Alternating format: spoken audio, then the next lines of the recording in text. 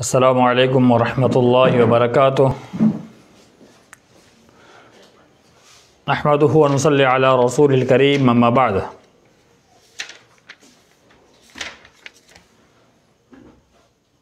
محترم سامعین و سامعات، پچھلے یعنی چوتھے درس کے اندر وضو کے تعلق سے گفتگو چل رہی تھی۔ کچھ احادیث آپ کے سامنے پیش کی جا چکی تھی اور اسی باب کی کچھ احادیث باقی تھی اور یہ بات کہی گئی تھی کہ انشاءاللہ اگلے درس کے اندر اس پر گفتگو ہوگی۔ آج چالیس نمبر کی حدیث سے ہم پڑھیں گے۔ حدیث کی عبارت وعن أبي هريرة رضي الله تعالى عنه قال سمعت رسول الله صلى الله عليه وسلم يقول إن أمتي يأتون يوم القيامة غرا محجلين من أثر الوزوء فمن استطاع منكم أن يطيل غرته فليفعل. متفق عليه. واللفظ لمسلم. حدیث کے راوی حرد ابو حرر رضی اللہ تعالیٰ عنہ ہے۔ انہوں نے کہا کہ میں نے اللہ کے رسول صلی اللہ علیہ وسلم کو فرماتے ہوئے سنا کہ اللہ کے رسول صلی اللہ علیہ وسلم کہہ رہے تھے، ان امتی اتون یوم القیامہ کہ بے شک میری امت قیامت کے روز آئے گی۔ غرن محجلین من اثر الوضوء۔ کہ اللہ کے رسول صلی اللہ علیہ وسلم نے فرمایا کہ ان کے اوپر وضو کے اثرات کی وجہ سے ان کے ہاتھ اور پاؤں چمکتے ہوں گے۔ پھر آگے فرمایا، تم میں سے جو شخص اس کی استطاعت رکھتا ہے، طاقت رکھتا ہے یتیل غرت ہو کہ وہ زیادہ اپنے ہاتھ، پیر اور اس کی روشنی بڑھانا چاہتا ہے، تو اسے ضرور بڑھانی چاہیے۔ اس حدیث، یہ حدیث بخاری مسلم دونوں کے اندر موجود ہے اور مسلم کی بھی الفاظ الگ سے بھی ہے اس حدیث کے اندر اللہ کے رسول صلی اللہ علیہ وسلم نے خوب اچھی طرح سے وضو کرنے پر ابھارا ہے اور یہ کہنا مقصد ہے کہ وضو کو جیسے پچھلی روایت کے اندر گزر چکا کہ خوب اچھے طریقے سے مبالغہ کرتے ہوئے وضو کرے اور غرہ اس کے معنی چمکانے کے ہوتا ہے۔ اور محجلین، یہ اس گھوڑے کو کہا جاتا ہے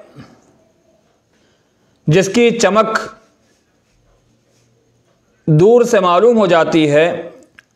اور اس کا پیشانی کا جو حصہ ہے وہ سفید رنگ کا ہوتا ہے، ویسے گھوڑے کو محجلین کہتے ہیں۔ اور اس اللہ کے رسول صلی اللہ علیہ وسلم نے حدیث میں بتلانا چاہا کہ انسان جتنے اچھے انداز وضو کرے گا، اسی طرح سے اس کے ہاتھ، اس کے پیر، اس کا چہرہ، یہ ساری چیزیں دور سے چمکے گی۔ قیامت کے روز۔ اور جو یہ چاہتا ہے کہ زیادہ اور زیادہ مطلب اس دن اس کے اوپر چہرے پر روشنی آئے۔ آج انسان کی پوری تغود اپنے چہرے کو لے کر ہوتی ہے۔ بیک اپ کریم پاؤڈر ساری چیزوں استعمال اس لیے ہوتا ہے تاکہ اس کا چہرہ چمکے اور ایک خوبصورت لگے۔ تو انسان کے لیے وضو اتنا بہتر میک اپ ہے کہ اسی کے ذریعے انسان اس دنیا میں بھی روشنی پا سکتا ہے اور قیامت کے روز بھی اس کی چمک مزید بڑھ جائے گی۔ تو اس لیے زیادہ سے زیادہ وضو کرے اور خوب اچھے طریقے سے وضو کرے۔ دو مطلب نکلتا ہے کہ زیادہ کرنا کہ اچھے طریقے سے کرے اور زیادہ زیادہ وضو کرے۔ یعنی جب بھی وضو ٹوٹ جائے، وضو کرنے کا اہتمام کرے۔ جیسے کہ اللہ کے رسول وسلم کے بارے میں آتا ہے کہ آپ ہمیشہ وضو سے رہتے تھے۔ اور بھی کئی صحابہ کرام اور علماء کرام کا یہ معمول ہے، صحابہ کرام معمول تھا۔ اور آج بھی علماء کرام کا بہت سارے علماء کا معمول ہے کہ ہمیشہ وضو سے رہنے کی کوشش کرتے ہیں۔ تو اس کا اہتمام کرنے کی کوشش کرنا چاہیے۔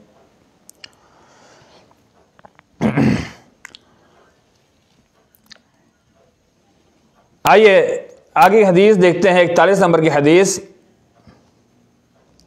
وعن عائشة رضي الله تعالى عنها قالت كان رسول الله صلى الله عليه وسلم يعجبه التيمن في تنعله وترجله وطهوره وفي شأنه كله متفق علیہ۔ میں عائشہ بیان کرتی ہے کہ اللہ کے رسول صلی اللہ علیہ وسلم کے ایک وصف بیان کرتے ہوئے کہ نبی صلی اللہ علیہ وسلم پسند کرتے تھے التیمن، داہنی جانب سے شروعات کرنا، فی تنعلہ و ترجلہ و طہورہ اس کے اندر تین چیزیں بتلائی کہ تین چیزیں جن میں آپ داہنی طرف سے کرنا پسند کرتے تھے۔ اس میں پہلی چیز، آپ جوتا جب پہنتے تو داہنے پیر میں پہلے پہنتے، کنگھی کرتے تو دانی طرف سے کرتے، اور ہر وہ کام جو پاک کام ہے وہ سارے کے سارے آپ دانی جانب سے کیا کرتے تھے۔ اور ایک بات وفی شأنہی کل ہی اور یہ بھی کہا کہ ہر کام، جتنے بھی اچھے کام ہیں، وہ سارے کے سارے آپ دانی طرف سے کرتے تھے۔ تو اس کو وضو میں، اس حدیث استدلال اور وضو کے باب میں لانے کا مقصد یہ ہے وفی شأنہی کل ہی یہ لفظ کے استدلال ہے کہ آپ وضو کو بھی دانی طرف سے شروع کرتے تھے۔ کیسے؟ پہلے دانا ہاتھ، پھر بایاں ہاتھ دھونا۔ پیر کا معاملہ ہے، پہلے دایاں پیر، پھر بایاں پیر۔ یعنی ہر اعتبار سے دانی طرف سے شروع کرنا یہ اچھے عادات میں سے، اچھے کام میں سے ہے اور حدیث کے اندر اللہ کے رسول صلی اللہ علیہ وسلم نے بتلایا کہ جوتا پہننا یہ بھی آپ کے وسب میں سے تھا دانے طرف سے۔ تو بہتر یہ ہے کہ پوری کوشش ہونی چاہیے سنت طریقے کے مطابق کہ داہنے پیر میں پہلے جوتا چپل پہنا جائے اور اتارتے وقت بائیں پیر کا پہلے استعمال کیا جائے۔ اور کنگھی کرتے وقت داہنی طرف سے شروع کرنا یعنی جب کنگھی کو شروعات کیا جائے تو اس طرف سے پہلے اور یعنی کنگھی چلانا شروع کرنا چاہیے۔ اور مانگ نکالنے کی بات ہے تو پہلے دانی طرف کی مانگ نکالا جائے، پھر ادھر کی مانگ نکالا جائے، تو اس سے یہ بھی معلوم ہوتا ہے۔ وہ تو ہی اس کے اندر ساری چیزیں جو تہارت حاصل کرنے کی ہے، وہ ساری چیزوں کو دانی طرف سے شروع کیا جائے، یہی یہاں بتلانا مقصود ہے۔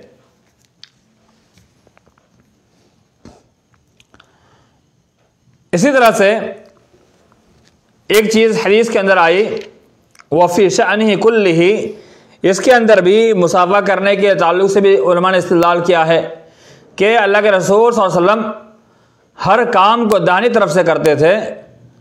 تو آپ صلی اللہ علیہ وسلم مسا مسافہ کرنے کو بھی دہنی طرف سے کیا کرتے ہیں سلام کے لیے بھی آپ دہنی طرف سے شروعات کرتے۔ نماز میں سلام پھیرنا، وہ بھی دہنی طرف سے۔ یعنی ہر وہ کام جو اچھے کام ہے، وہ سارے کے سارے دہنی طرف سے کیے جاتے تھے اور دہنے ہی ہاتھ سے کیے جاتے تھے، یہ استدلال سے ہے۔ ایک روایت آگے کی، بیالیس نمبر کی روایت اس کتاب کی۔ وعن ابی حریرت رضی اللہ تعالی عنہ قال قال رسول اللہ صلی اللہ علیہ وسلم، اذا توضع اذا توضعتم فابدؤوا بمیامنکم اخرجہ الاربع وصحہ ابن خزیمہ۔ حضرت ابو حدیث کے راوی بیان کرتے ہیں کہ اللہ کے رسول صلی اللہ علیہ وسلم فرمایا، اذا توضعتم، جب تم میں سے کوئی شخص وضو کرے، تو فبدعو بمیامنکم تو وہ اپنے داہنی طرف سے شروع کرے۔ پچھلی حدیث کا تعلق اس سے بالکل ملتا جلتا ہے اور پچھلی حدیث کا تعلق باب سے یہ بھی استدلال کرنے کے لیے حدیث بھی ہمیں سمجھ میں آتی ہے کہ اس حدیث میں اللہ کے رسول صلی اللہ علیہ وسلم نے واضح کرنا چاہا کہ وضو کی شروعات داہنی طرف سے کرنا چاہیے یعنی پہلے دائنا ہاتھ دھویا جائے، پھر بایاں ہاتھ دھویا جائے۔ پیر میں پہلے دایاں پیر دھویا جائے، پھر بایاں پیر دھویا جائے۔ کچھ بہت سارے لوگوں کو دیکھا جاتا ہے کہ انجانے میں بیچارے بایاں بایاں پیر پہلے دھونا شروع کرتے ہیں۔ تو یہ غلط طریقہ ہے۔ جنہیں نہیں معلوم، اسے سکھایا جائے، بتلایا جائے اور انہیں آگاہ کیا جائے کہ داہنی طرف سے شروع کرنا چاہیے۔ یہ روایت چار کتابوں میں موجود ہے۔ ابو داود ترمیزی نے اور ابن ماجہ کے اندر یہ روایت موجود ہے۔ اور امام ابن خزیمہ نے اسے صحیح قرار دیا ہے۔ اگلی روایت تیالیس نمبر کی۔ وعن المغیرت تبن شعبت رضی اللہ تعالی عنہ ان النبی صلی اللہ علیہ وسلم توضع فمسح بناسیته وعلى العمامة والخفین۔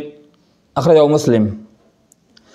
حضرت مغیرہ بن شعبہ حدیث کے راوی وہ روایت کرتے ہیں کہ اللہ کے رسول صلی اللہ علیہ وسلم فتوز آپ جب وضو کرتے فمسح بناسیتی تو اپنی پیشانی پر مسح کرتے وہ الامامتی اور اپنے امامہ جو اوپر پگڑی باندھی جاتی ہے اس کے اوپر آپ مسح کرتے والخفین اور دونوں موزوں کے اوپر آپ مسح کیا کرتے تھے ناسیہ کہتے ہیں سر کا یا اگلا حصہ جو ہے اسے ناسیہ کہا جاتا ہے، یہ اوپر کا حصہ، اسے ناسیہ کہا جاتا ہے۔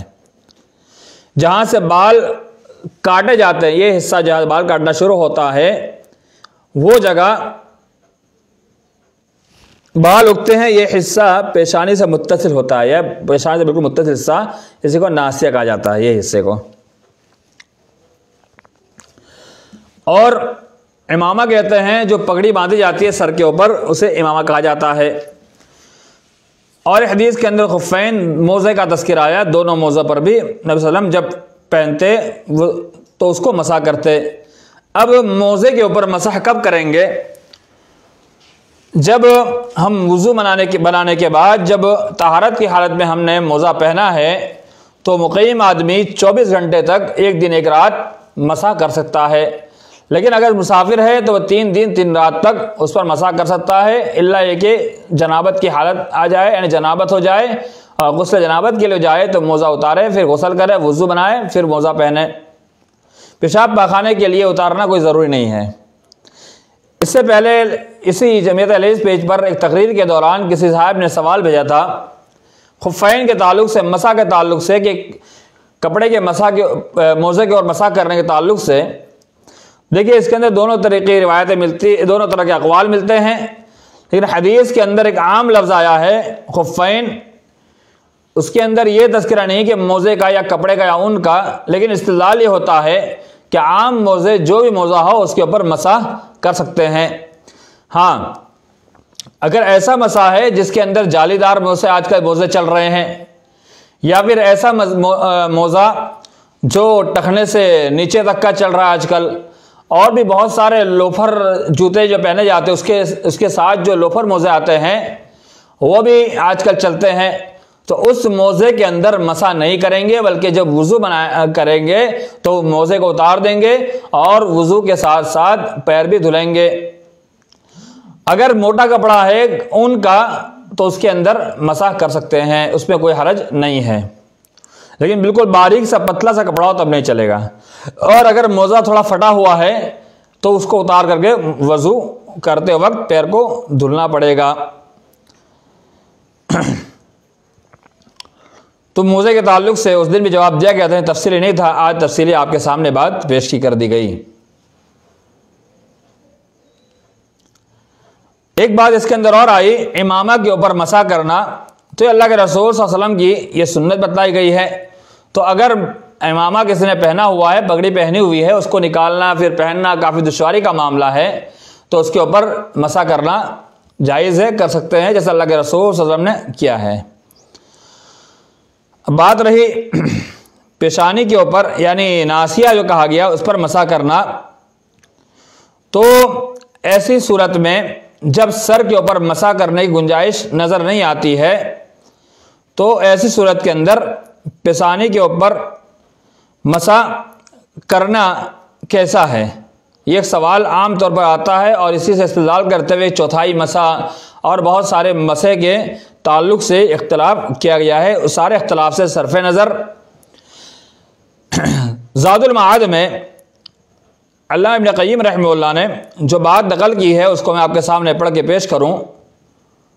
آپ وسلم کبھی صرف ننگے سر پر مسا فرما لیتے، کبھی پگڑی پر اور کبھی پگڑی اور پیشانی سمیت دونوں پر اور فخت پیشانی پر مسا کرنا آپ وسلم سے ثابت نہیں ہے۔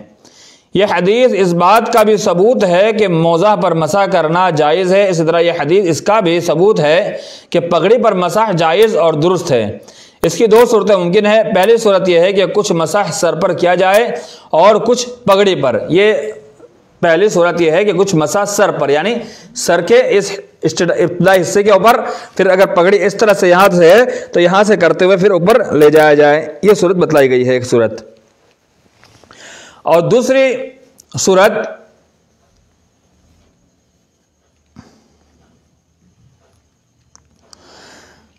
اور اس میں کوئی اختلاف بھی نہیں ہے۔ دوسری صورت یہ ہے کہ صرف پگڑی پر مسا کیا جائے یعنی صرف پگڑی پہنی ہوئی ہے، یہاں سے پورا پگڑی پر ہی مسا کر کے چھوڑ دیا جائے۔ ترمیزی کے اندر ایک روایت منقول ہے، وہ حدیث صحیح ہے۔ کہ حضرت ابوکر صدیق، حضرت عمر رضی اللہ تعالیٰ عنہ، حضرت انس کے بارے صحابہ کرام کے علاوہ عمر بن عبدالعزیز حسن بصری، مکحول رحمہ اللہ، ابو سور رحمہ اللہ، امام احمد اور اوزاعی، اسحاق بن راہوئی اور وکی وغیرہ اس کے قائل ہیں، باقی ائمہ ثلاثہ محض پگڑی پر مساح کو ناکافی سمجھتے ہیں۔ یعنی جو میں نے تذکرہ کیا صحابہ کرام تابعین، وہ کہتے ہیں پگڑی کے اوپر اگر کر لیا جائے تو کافی ہو جائے گا، لیکن کچھ لوگ کہتے ہیں نہیں ہوگا۔ تو راجے کو لے یہ کہ اللہ وسلم کے جب اقوال اور جب نبی وسلم کی حدیث ملتی ہے کہ آپ پگڑی کے اوپر مسا کیا کرتے تھے، تو پگڑی کے اوپر مسا کرنا درست ہے۔ لیکن صرف پیشانی پر کرنا درست نہیں ہے، بلکہ آدھی پیشانی اور آدھا پگڑی کے اوپر مسا کرنا یہی سنت طریقہ ہے۔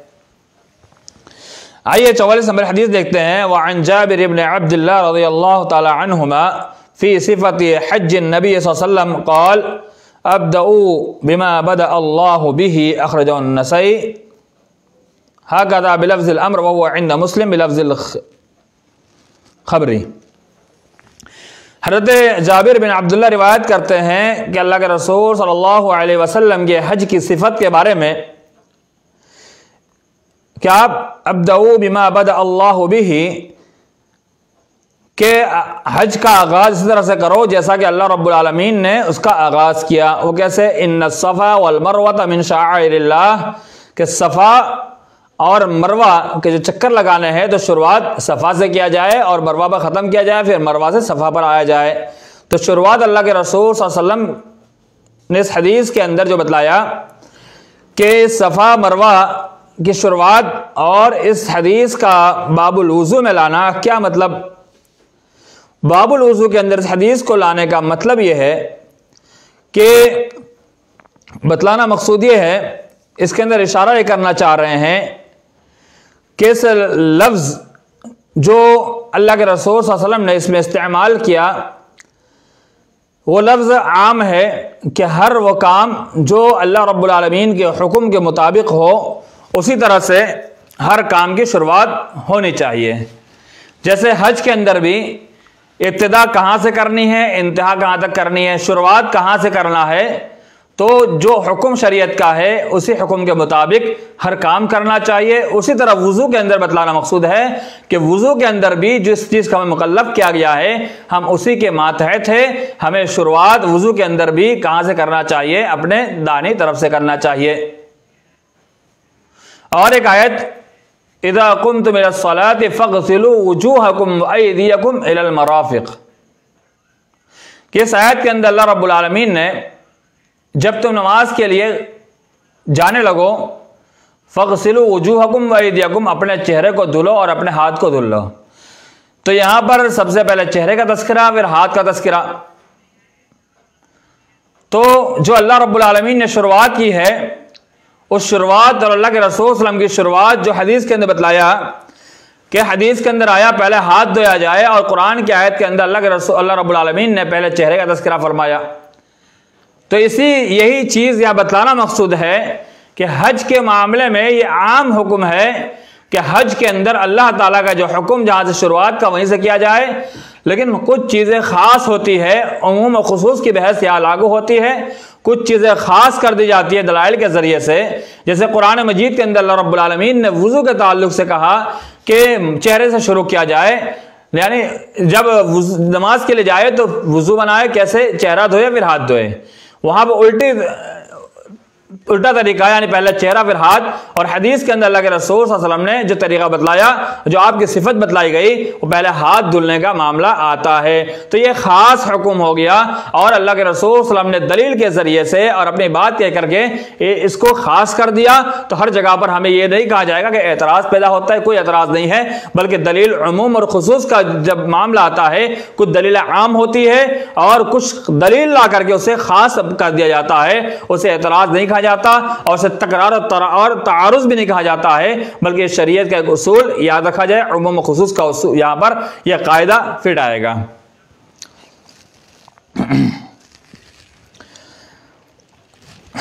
اگلی حدیث۔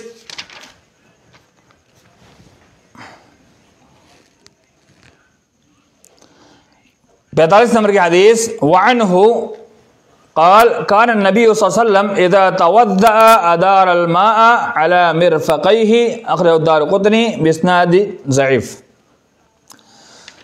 اس سے پہلے کے جو راوی تھے، حضرت جابر بن عبداللہ، وہ بھی وہی اس حدیث کے راوی ہے کان النبی صلی اللہ علیہ وسلم اذا توضا کہ نبی صلی اللہ علیہ وسلم جب وضو کرتے ادار الماء علی مرفقی تو آپ پانی کو گھماتے اپنے مرفق کہتے ہیں کوہنی کو۔ اس کوہنی کے اوپر پانی گھماتے یعنی پانی ایسا لا کر کے ایسے پانی کو گھماتے اچھے سے، پورا یہاں سے لے کر کے یہاں تک پورا اتارتے۔ یہ دار قدنی کی روایت ہے، لیکن اس کی صنعت کے اندر بتایا ضعیف، روایت تھوڑی صنعت اس کی میں ضعف ہے۔ اس حدیث کی صنعت کے اندر قاسم بن محمد بن عقیل یہ متروک راوی ہے۔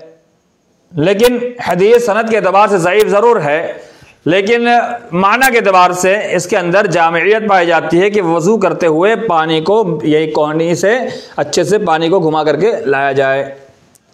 اور آج کل طریقہ چلا ہوا ہے، نل کے اندر ہاتھ گھسا دینا، یہ انتہائی غلط طریقہ ہے، کیونکہ ہاتھ میں پانی لے کر کے جب کیا جائے گا، تو پانی ہر جگہ پہنچے گا، آج کل نل کے نیچے ہاتھ گھسا دیا جاتا ہے اسے، اور وضو بنانے کے لیے پورا ہاتھ دبایا جاتا ہے، یہ غلط طریقہ ہے۔ اس دور میں کبھی ایسا نہیں ہوا اور نہ ایسا ہونا چاہیے۔ یہ تو غلط طریقہ ہے جو نل لگا کر کے پانی کا ضیاع ہو رہا ہے، یہ غلط طریقہ ہے۔ اس کے ہمارے اسلاف قائل نہیں تھے۔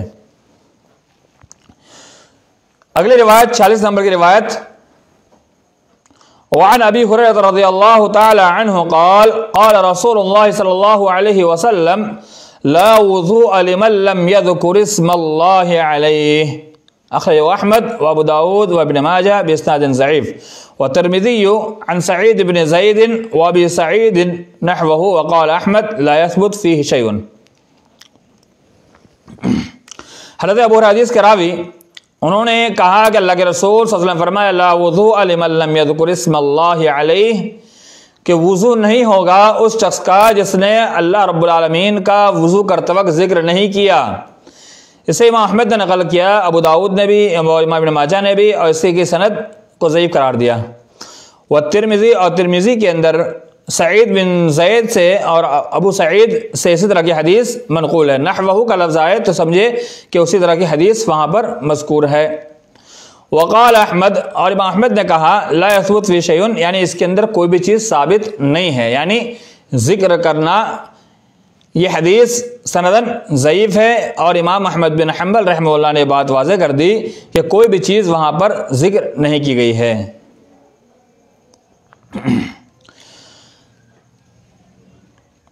تو اس حدیث کے اندر ایک بات کی طرف اشارہ کیا گیا ہے، وہ یہ ہے کہ وضو کرتے وقت اللہ کا ذکر نہ لیا جائے، لا وضو تو وضو شمار نہیں ہوگا۔ اب اس کے اندر دو چیزیں آئی وضو شرط ہے ذکر وضو کے ساتھ شرط ہے یا اس کا رکن ہے۔ اس کے اندر علماء کرام نے اپنے اپنے حساب سے بہت ساری باتیں کہی ہے، کئی طرح کی باتیں اس میں پیش کی گئی ہے۔ اس میں کافی اختلاف بھی کیا گیا ہے کہ وضو کے اندر ذکر کیا جائے یا نہ کیا جائے، رکن ہے یا شرط ہے، اگر وضو کے ساتھ بسم اللہ یا ذکر اسکار نہ کیا جائے تو وضو ہوگا یا نہیں ہوگا۔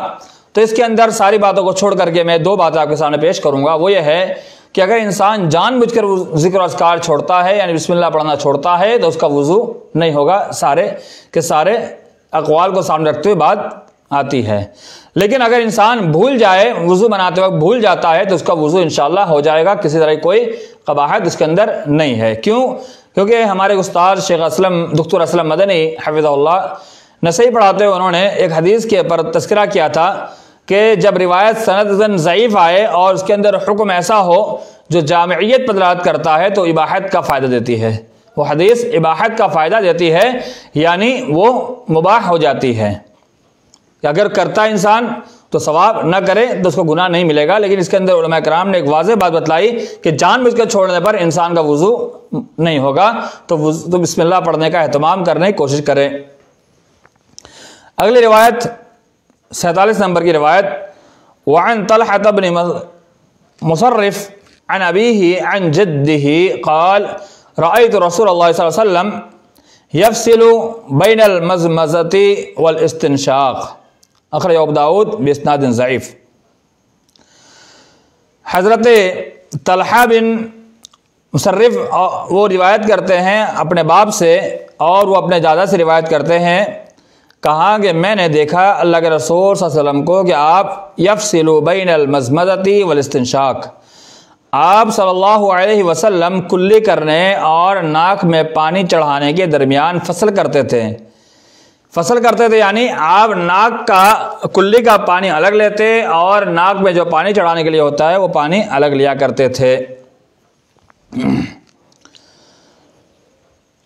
یہ روایت، اس روایت کو مصنف نے صنعت کے اعتبار سے ضعیب قرار دیا ہے، کیونکہ اس کی صنعت کے اندر یہ مصرف بن مصرف بن قعب یہ راوی جو ہے، مجھول ہے۔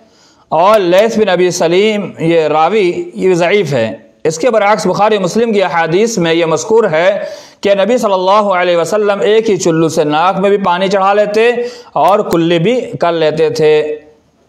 تو جب بخاری اور مسلم کی روایت کے اندر یہ بات معلوم ہوئی کہ ایک ہی چلو پانی سے آپ ناک میں پانی بھی چڑھا کلی کرتے کلی کرتے اور ناک میں پانی چڑھاتے ہیں، تو اس روایت کو وہاں پر فوقیت ملے گی اور ترجیح دی جائے گی کیونکہ اصول بیان کیا جاتا ہے، جب دو حدیث کا تکرار پیدا ہو، تعارض ہو، تو دیکھا جائے کہ کون سی روایت صحیح ہے، کون ضعیف ہے۔ اگر کوئی ضعیف روایت سند اعتبار سے کسی اعتبار سے بھی صحیح کا تکرار کرتی ہے، تو صحیح حدیث کو ترجیح دی جائے گی اور ضعیف حدیث کو سائڈ لگا دی جائے گی۔ تو یہی طریقہ ہے کہ اللہ علیہ وسلم نے ایک ہی چلو پانی سے کلی کی اور ناک میں پانی چڑھایا تو اس کو کرنے کی کوشش کرے، اگر نہ کر سکے تو کوئی ضروری بات نہیں ہے۔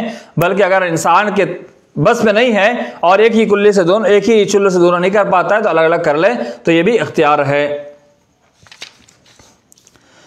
آئیے اگلی روایت، اڑتالیس نمبر کی روایت۔ وعن علي رضي الله تعالى عنه في صفة الوضوء ثم تمزمز واستنصر ثلاثا يمزمز وينصر من الكف الذي يأخذ منه الماء. أخرج ابو داود والنسائي حضرت علی رضی اللہ تعالی عنہ حدیث کے راوی اللہ کے رسول صلی اللہ علیہ وسلم کی وضو کی صفت بیان کرتے ہوئے فرماتے ہیں، اس سے پہلے حدیث لمبی گزر چکی ہے۔ حضرت علی رضی اللہ تعالی عنہ سے یہ آئی تھی۔ فرمایا، ثم تمزمزا وسطن سرا سلاسن کہ وضو کے بعد چیزیں بیان کرتے ہوئے فرمایا کہ پھر آپ وسلم کلی کیا کرتے تھے اور ناک کو جھاڑا کرتے تھے۔ استنصار ناک کو اچھے سے جھاڑنا۔ کتنی مرتبہ؟ تین مرتبہ یعنی ناک میں پانی لینے کا بھی اور کلی کرنا، دونوں کو تین تین مرتبہ کیا جانا، اس سے ثابت ہوتا ہے۔ اس سے پہلے روایت کے اندر کلی کا اور ناک میں پانی لینے کا، ناک جھاڑنے کا تذکرہ کتنی مرتبہ نہیں آیا تھا، وہاں میں نے آپ کے سامنے بات رکھی تھی کہ بعض روایت میں آئے گا کہ تین تین مرتبہ کا لفظ آیا ہوا ہے، جو اس روایت سے ثابت ہوتا ہے۔ جو پچھلے سوموار کے درس کے اندر جو بات پیش کی گئی تھی، اس کے اندر تین کا لفظ حدیث کے ظاہر سے نہیں آیا تھا۔ جو یہاں پر ہمارے سامنے آ گیا۔ پھر آگے فرمایا یومز مزو وینسرو من الکف الذی یأخذ منه الماء کہ آپ کلی کرتے اور ناک کو دیکھیں استنصار کا اس سے پہلے معنی بیان کیا گیا، ناک جھاڑنا۔ لیکن یہاں پر ایک ہی کف سے پانی لینے کا تذکر آیا، اس لیے ین سرو کا لفظ آیا، تو یہاں پر ہم ناک میں پانی چڑھانے کا معنی مراد لیں گے۔ کیوں؟ کہ ناک کو پانی نکالتے وقت چڑھا ایک ایک ہی چلو کا استعمال نہیں ہو سکتا، تو وہ کلی کرتے وقت اور ناک پانی چڑھانے کا یہاں پر استنصار سے ہم ترجمہ کریں گے۔ کہ آپ ناک کلی اور ناک میں پانی چڑھانا ایک ہی کف سے کرتے تھے اللہ دیا خود من الماء، جس سے آپ پانی لیتے۔ تو اس روایت، پچھلی روایت ضعیف ہے اور یہ روایت صحیح روایت نسائی کی اور ابداؤد کی روایت، اس سے ہی معلوم ہوتا ہے کہ ایک ہی کف سے اللہ علیہ وسلم پانی لیا کرتے تھے۔ تو اس حدیث کے اندر زیادہ بحث، بات نہیں ہے، بس اتنا ہی بتلانا ہے کہ تین مرتبہ کلی اور ناک میں پانی بھی تین مرتبہ چڑھایا جائے، یہی بتلانا مقصود ہے۔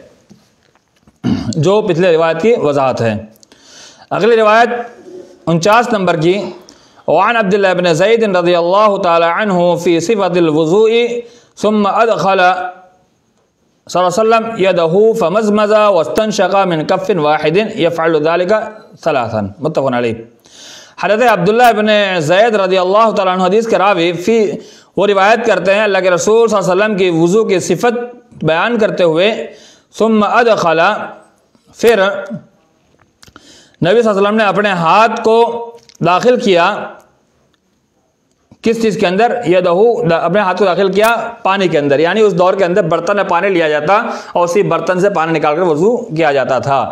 تو آپ نے اپنے ہاتھ کو داخل کیا۔ فمز مزہ وسطن شقا پھر آپ نے کلی کی اور ناک میں پانی چڑھایا من کف واحد ایک ہی کف سے۔ یا فائدہ کا صلاحن اسی طرح سے کیا تین مرتبہ جو بخاری مسلم کی روایت جو پہلے آپ کے سامنے وضاحت کر چکا، بخاری مسلم کے اندر اس طرح تذکرہ آیا ہے، وہ یہی روایت ہے۔ تو اس حدیث سے بھی یہ معلوم ہوا کہ ناک میں پانی چڑھانا اور کلی کرنا تین تین مرتبہ۔ اور ایک بات یہ معلوم ہوئی کہ ایک ساتھ اللہ کے رسول صلی اللہ علیہ وسلم نے کیا ہے۔ اگلی روایت وعن انس رضی اللہ تعالی، پچاس نمبر حدیث، وعن انس رضی اللہ تعالی عنہ قال، رأى النبي صلی اللہ علیہ وسلم رجلا وفي قدمه مثل الزفر لم يصبه الماء، فقال ارجع فاحسن وضوءك. اخرج ابو داؤد النسائی حضرت انس رضی اللہ تعالیٰ عنہ خادم رسول روایت کرتے ہیں کہ، رأى النبی صلی اللہ علیہ وسلم، اللہ کے رسول صلی اللہ علیہ وسلم نے دیکھا، رجلا ایک آدمی کو وفی قدم ہی اس کے قدم یعنی اس کے پیر کے اندر مثل ظفری لم یوسب الماء، ناخون کے برابر پانی نہیں پہنچاتا یعنی تھوڑا حصہ ایسا تھا جو سکھا تھا یعنی ناخون کے کتنا ناخون ہوتا ہے، چھوٹا سا ہوتا ہے، اتنا حصہ سکھا ہوا تھا۔ تو اللہ کے رسول صلی اللہ علیہ وسلم نے فرمایا، ارجع، لوٹ جا، فاحسن وضو کا اور اپنے وضو کو خوب اچھے طریقے سے کر۔ اس طرح کی کوئی اور کئی روایت کے اندر یہ معلوم اور یہ بھی بتایا گیا کہ اللہ کے رسول صلی اللہ علیہ وسلم نے لعنت کا بھی تذکرہ کیا ہے اور جس یعنی ایڑی والے کے اوپر اللہ کے علیہ وسلم نے لعنت کی بھی تذکرہ کیا ہے۔ ایڑی والے سے مراد یہی ہے کہ جو اچھے طریقے سے وضو نہیں کرتے ہیں اور ان کے پیر میں کچھ سکھا رہ جاتا ہے۔ آج کل ہمارے معاشرے کے اندر بھی یہ چیز عام ہو چکی ہے کہ نماز کھڑی ہو جاتی ہے اور رکو پانے کے لیے وضو کرتے ہوئے بڑی جلد بازی کرتے ہیں اور پیر کو اچھی طرح نہیں دھلتے ہیں۔ اور پیر تو کیا پورے جسم کے کئی کئی اعضاء کے اوپر سکھا رہ جاتا ہے۔ جو وضو کے اعضاء ہے، اس کو مکمل تر کرنا ہے۔ ہر حالت میں اگر تھوڑا پانی ہو تو تھوڑا تھوڑا اس کو مل لیا جائے، جیسے پچھلے حدیث پہ گزرا کہ اس کو مل کر کے آپ ایک مد کے ایک ایک مد میں بھی ایک تہائی حصے سے وضو بنایا کرتے تھے کبھی کبھار، تو اس سے اچھے سے مل کر کے اس کو گلا کیا جائے۔ اور اگر سکھا رہ جاتا ہے تو اللہ رسول نے کہا ارجے لوٹ جا۔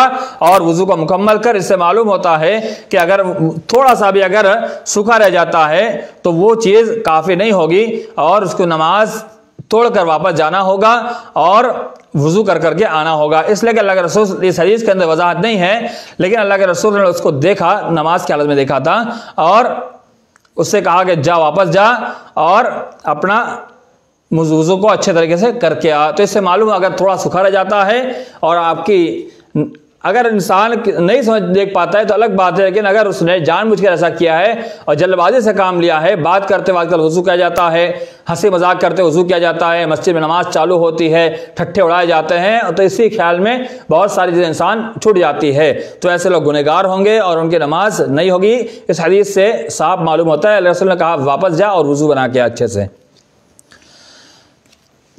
ابو داود نسائی کی روایت ہے۔ اگلی روایت، اکاون نمبر کی روایت، وعنہ قال کان رسول اللہ علیہ وسلم توزع بالمد ويغتسل بالساع الى خمسة امداد متفق علیہ۔ یہ روایت کے براوی اگلے حدیث کی حضرت انس رضی اللہ تعالیٰ عنہ کے راوی، وہ کہتے ہیں کہ اللہ کے رسول صلی اللہ علیہ وسلم وضو کرتے تھے، ایک مد پانی سے اور غسل کرتے تھے، ایک ساع پانی سے۔ الى خمسة امداد یعنی ایک سا سے لے کر کے پانچ مد تک پانی سے آپ غسل کیا کرتے تھے۔ یعنی سوا سا مد کا وزن کتنا ہوتا ہے اور سا سا کہتے ہیں ڈھائی کلو کا ایک سا ہوتا ہے، کہیں سوا دو کلو کا ہوتا ہے، الگ الگ جگہ کے اعتبار سے اس کا پیمانہ بنایا گیا اور ناپا گیا ہے۔ لیکن حجازی جو سا ہوتا ہے، اس کا پیمانہ ڈھائی کلو کے آس پاس قریب قریب ہو جاتا ہے۔ ڈھائی سے کم رہتا ہے، لیکن ڈھائی کلو کا پیمانہ اس لیے بنایا گیا ہے تاکہ آسانی کے ساتھ معلوم ہو سکے۔ تو ڈھائی کلو پانی، ڈھائی لیٹر پانی کا ایک چار یعنی چار مد برابر ایک سا ہوتا ہے۔ اب ڈھائی کلو کا جب چار حصہ کیا جائے تو غالباً ساڑھے سات سو گرام پانی ایک مد میں آتا ہے۔ سوا سات سو سے ساڑھے سات سو گرام تک ہم شمار کرتے ہیں۔ تو سوا سات سو گرام پانی سے نبی صلی اللہ علیہ وسلم وضو کیا کرتے تھے۔ اور آج کل ہمارے معاشرے میں دیکھا جائے جو نل لگائے گئے ہیں، سسٹم بالکل غلط نل طریقہ ہے۔ اس میں اتنا پانی گرتا ہے، اتنا پانی گرتا ہے کہ ایک مد کیا کئی بالٹک پانی گر جاتا ہے۔ اگر آج کل تو وضو بنانے بیٹھتے ہیں، پہلے نل کھولتے ہیں، پھر صحیح کپڑے کرتے ہیں، پھر پانی گرتے رہتا ہے، ادھر بات ہو رہی ہے، ادھر ہنسی مذاق ہو رہی ہے اور پانی گرتا جا رہا ہے، ہاتھ دھل رہے ہیں اسی کے اندر، پھر پانی کلی کر رہے ہیں تو نل کھلا ہوا ہے۔ ابھی بڑی اسپیڈ سے نل کھول دیتے ہیں، ایسا بھی نہیں تھوڑا کھولا جائے اور اس کے بعد کلی کر کرتے ہیں نل کھلا ہے ناک پانی چڑھاتے ہیں نل کھلا ہوا ہے۔ گراتے ہیں۔ تین تین مرتبہ سارے اعضاء کو دھلا جاتا ہے۔ تو آپ غور کیجیے کتنا پانی بہ جاتا ہے۔ ایک مد پانی، سات سو گرام پانی، ایک مگ جو آج کل ایک جگ چل رہا ہے، وہ بھی غالباً ایک لیٹر کا بڑا جگ ہوتا ہے۔ اگر چھوٹا جگ لیا جائے تو اس کے اندر ایک مد کے برابر پانی آئے گا۔ اس اتنے وضو سے، اتنے پانی سے وضو بنانے کی کوشش کرنا چاہیے۔ ہاں اگر ضرورت پڑے تو اس سے زیادہ لینے پر ممانعت نہیں ہے، لیکن اللہ کے رسول کا طریقہ تھا۔ ہم ہر چیز کے اندر اللہ کے رسول کے منہج پر چلنے کی ہم دعویٰ کرتے ہیں۔ ہیں اور ہم یہ کہتے ہیں کہ ہم تو سنتی ہے سنت پر چلنے والے ہیں، تو ہر چیز کے اندر احتیاط برتنا چاہیے اور کوشش کرنی چاہیے کہ اتنے پانی میں کفایت کر جائے۔ اگر زیادہ ضرورت پڑ جائے تو لے سکتے ہیں، لیکن بہانہ کسی بھی طور پر درست نہیں ہے۔ میں نے اس سے پہلے بھی جب تقریر کیا تھا پانی کے اوپر، لائیو پروگرام کے اندر، پانی کی حفاظت کے اوپر، تو اس میں بھی بات کہی تھی ذمہ داران کو مخاطب کرتے ہوئے کہ ذمہ داران اس کے ذمہ دار ہے کہ مسجد کے اندر ایسے نل لگا کر کے پانی کا اتنا ضیاع کرتے ہیں، یہ کسی بھی طور پر درست نہیں ہے، ایک نل لگا دے، اسی سے سارے لوگ نکال نکال نکال وضو کریں گے تو پانی کی بچت بھی ہوگی اور جو پہلے کے سسٹم جو تھے، نل دبانے والے تھے، اس کا استعمال کریں تو اور زیادہ مناسب اور بہتر ہے اور غسل کے لیے ایک سا یعنی ڈھائی کلو کے آس پاس پانی یا اس سے اور زیادہ سات سو گرام اس سے مزید بڑھا کر کے آپ لے لیں تو وہی تین کلو، سوا تین کلو تک پانی پہنچ جائے گا۔ سوا تین کلو کے اندر علیہ وسلم آپ غسل کر لیا کرتے تھے۔ لیکن یہ احتیاط ہے، اگر اس سے زیادہ ضرورت پڑ جائے غسل کے لیے تو استعمال کر سکتے ہیں، لیکن بہتر یہ ہے کہ اتنے پانی کے اندر کفایت کرنے کی کوشش کرنا چاہیے تاکہ پانی بچ جائے اور پانی کا ضیاع نہ ہو اور پانی کا استعمال بھی اچھے طریقے سے ہو جائے۔ آگے روایت، اس باب کی غالباً آخری حدیث ہے، باب الوضو کی، باون نمبر کی حدیث۔ اس کے بعد آج کا درس اختتام کو پہنچے گا۔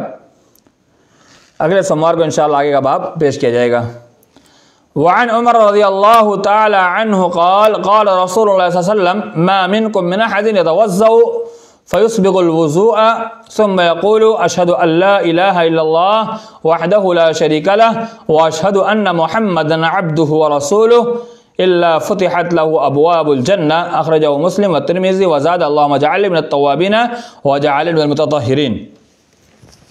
اس حدیث کے اندر راوی حضرت عمر رضی اللہ تعالیٰ عنہ بیان کرتے ہیں کہ اللہ کے رسول صلی اللہ علیہ وسلم فرمایا، ما منکم من احد يتوضا کہ جو شخص